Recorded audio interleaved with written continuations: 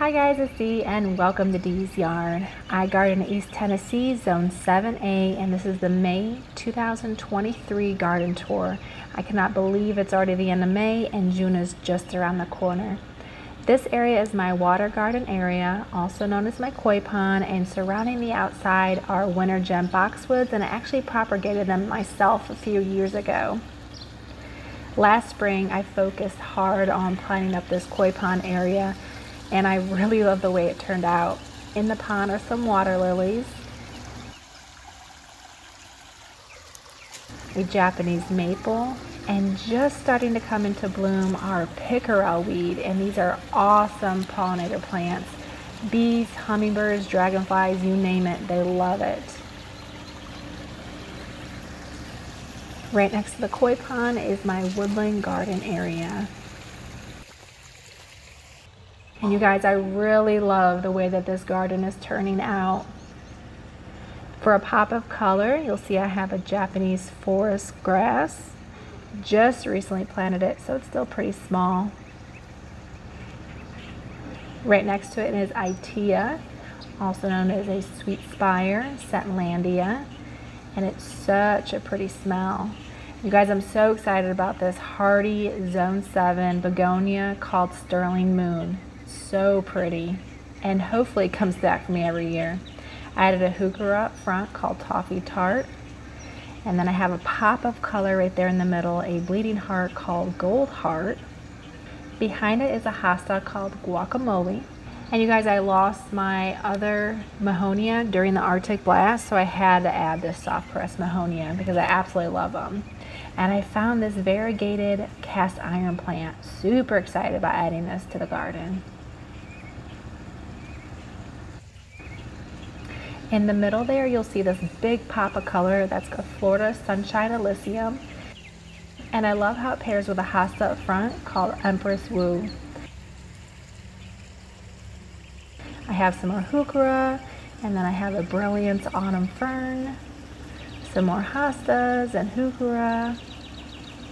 And up front I have two Brunnera or Brunnera called Queen of Hearts. I love that silver color. In the back, I have a rhododendron that is not in bloom, but it was just a bloom a week or two ago called Nova Zembla. Then up front for pop of color is an Everillo carex. Next to it is a lungwort called Spot On. Then I have this really fun hosta called Wee. Love the variegation. And right behind it is a variegated Solomon seal. And behind that is an Aphrodite sweet shrub or Calycanthus. And the smell is so nice.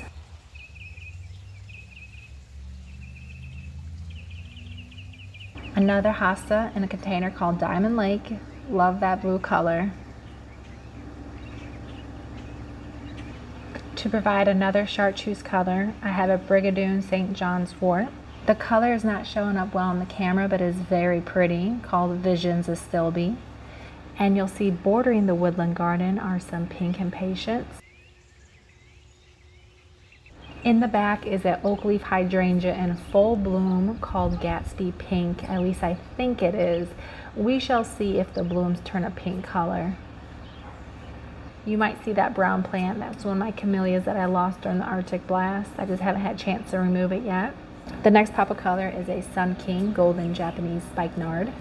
Behind that in the container is a Seducer Hosta. Love that Hosta.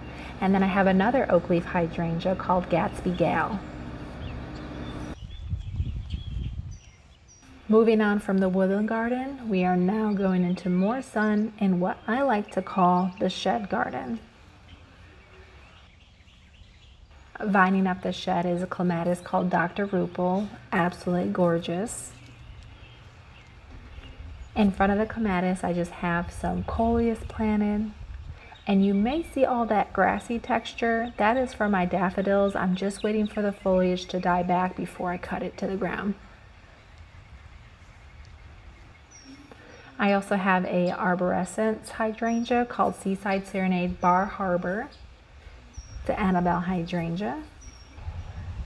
On the other side of the shed are three double play doozy spirea, and this is actually their second bloom already. Love them.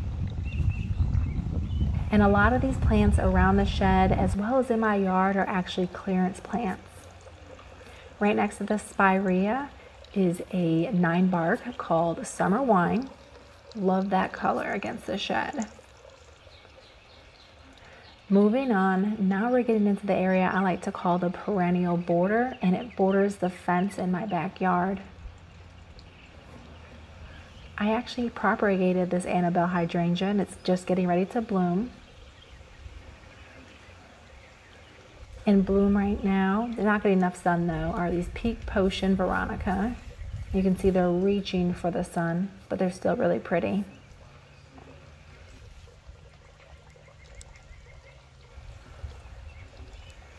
Just finishing blooming are these Boom Chocolatta Hardy Geranium. I love that really soft purple color. Recently I just planted this Fire Glow Japanese Maple. I'm very excited to have this color in the garden. I absolutely love the color of this Anthony Waterer Spirea and I think it pairs perfectly with the opening act blush phlox just next to it.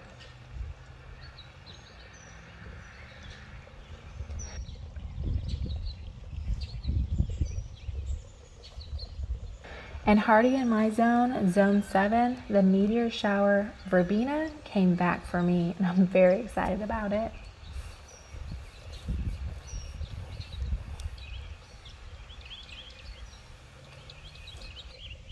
You guys, I'm really loving how this garden area is turning out and I cannot believe I started only a few years ago.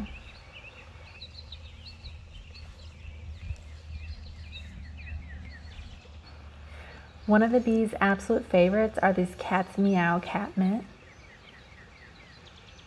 And another favorite just behind that is the Midnight Masquerade Penstemon.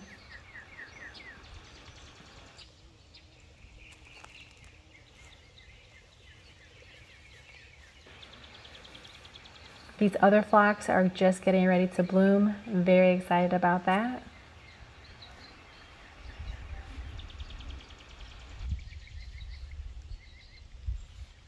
And just early this week, I planted this purple Salvia greggii, and the bees have been all over it. I also have a coneflower called Yellow My Darling. And I also have these evergreen Stella daylilies that pair perfectly with this perennial salvia called Violet Profusion. And the bees are super busy this morning. On the other side of the fence, I have a perennial salvia called Violet Riot, and it needs to be cut back.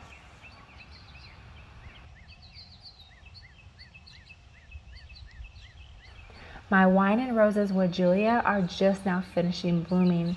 They've been in full bloom for about two months straight. On the other side of the tree are my absolute favorite phlox, and they are called Opening Act Romance. Love these phlox.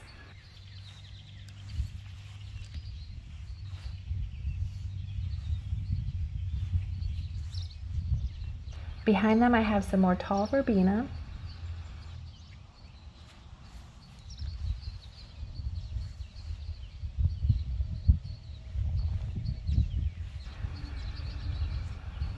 In bloom right now are Purple Illusion Veronica,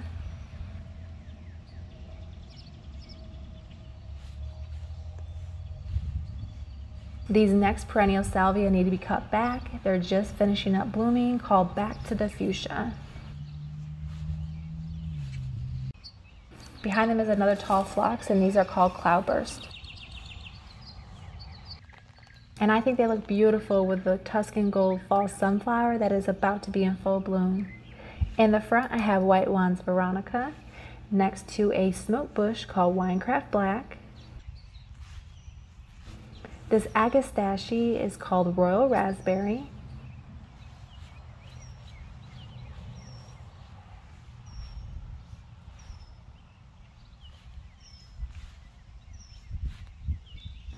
I recently planted these three Fire Witch Dianthus, and I like the way they look with the Homestead Purple Verbena next to it.